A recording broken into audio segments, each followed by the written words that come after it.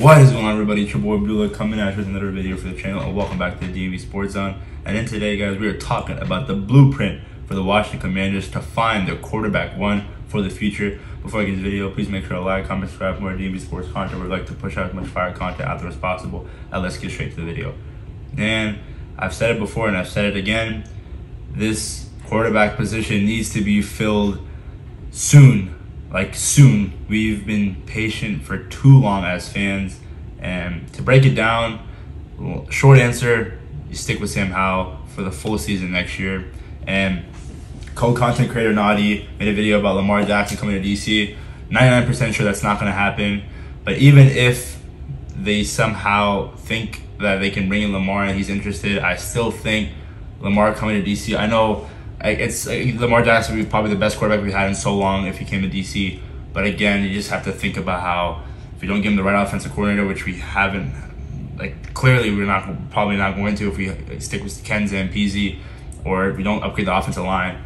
Lamar, like although we have the weapons, like he's not gonna have any time to throw. I know, I, mean, I know he can run, like you know, scramble and stuff, but still, Lamar Jackson, that's out the window. It's, it's not going to happen. I know I, many fans out there want them, you know, DMV, Baltimore, but at the end of the day, you gotta be realistic with ourselves. So Lamar Jackson out the window. Now another guy that I talked about in a video I made, Derek Carr, Los Angeles Raiders quarterback.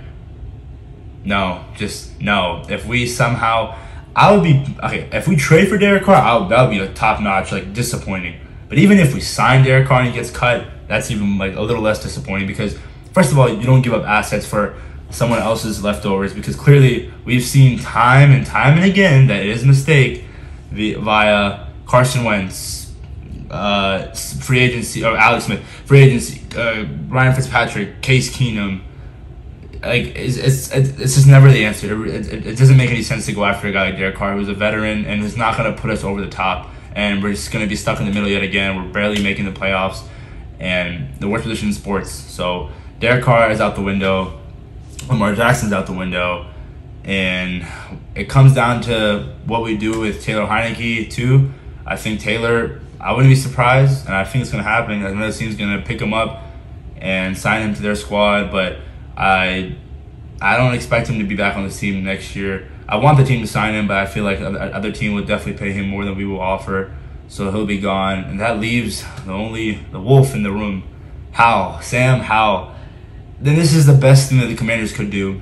First of all, you find your offensive coordinator most likely, and I don't want it to be someone in the off in the in the building right now because we need some like new fresh ideas, a new scheme. But I think realistically, if we want to make Sam like comfortable with like in his development and stuff, you stick with Ken Zampese. And I know it, like a lot of fans are a fan of him, but you know you stick with him, ride with Sam Howell all of next year, like the whole year. And if Sam plays good, we somehow make the playoffs and he has this big improvement he was a steal in the fifth round, like Kirk Cousins back like in 2012. But if he's not good and he's not that guy that we thought he could be, that, that even though it was like limited opportunity in that Dallas game, that last regular season game, then we get a top 10 pick and we get a guy like Drake Maye, uh, Jordan Travis, the guy from Florida State, um, Caleb Williams, the Heisman winner. So again, it's it's it's another year of just being patient, and we hopefully we're not stuck in the middle. But I don't know. I feel like Sam, especially if we address the needs when it comes to the offensive line, maybe get a tight end or maybe the development of tight ends like John Bates, Martin Rogers, Curtis Hodges, Cole Turner. One of them will emerge as a tight end one. You get better on the defense side of the ball when it comes to uh, defensive back, cornerback, or sorry, corner, cornerback, maybe get a linebacker. a majority, but focus primarily on the offensive line. I think we could win and make the playoffs and make the wild card. But again, we'll see. It all depends on Sam. But the best thing that this Commanders team should do, or they should avoid, is going after Derek Carr. That's terrible. If we somehow get Lamar Jackson, whoopee. It's not going to happen. That's unrealistic. Most realistic thing the Commanders would do, and we've seen in history, is go after a veteran, a washed-up QB like Derek Carr. You don't do it. You just don't do it. Sam Howell is the answer. And if he's not the answer, we have an answer after that. There's a plan A and there's a plan B. Don't go and do something crazy and have like a plan Z because there's no point of that. Clearly, there isn't any point. So stick with Sam Howell if he's good, quarterback for the future. If he's not, I'll have a top 10 pick, and hopefully we'll find our quarterback in the 2024 NFL Draft. With that being said, guys, thank you guys for listening to another episode of the DMV Sports Zone channel. We'd like to push out as much fire content out as possible. Follow us on all social media platforms, TikTok, Instagram, Twitter, at DMV Sports Zone.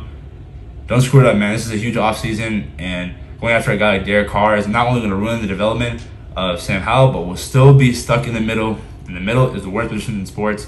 As us fans know, we've been seeing this team be mediocre for so long, and we're tired of it. Everyone's tired of it. Please stick with Sam Howell. All right, guys. Peace.